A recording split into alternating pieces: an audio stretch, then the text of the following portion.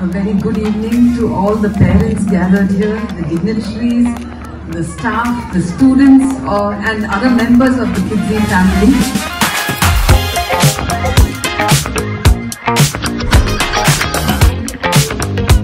I think um, I must at the outset really thank uh, the director here and the management of Kidzee to have me witness such a wonderful program today. I mean, uh, it, it definitely was an overdose of cuteness and it was, uh, in fact, I'm surprised at the level of perfection that the whole event was carried out with given the age group of children. It's always a pleasure to watch children of this age group uh, deliver their performance and it was indeed wonderful. In fact, I love the idea of how these little children were made to give their introduction.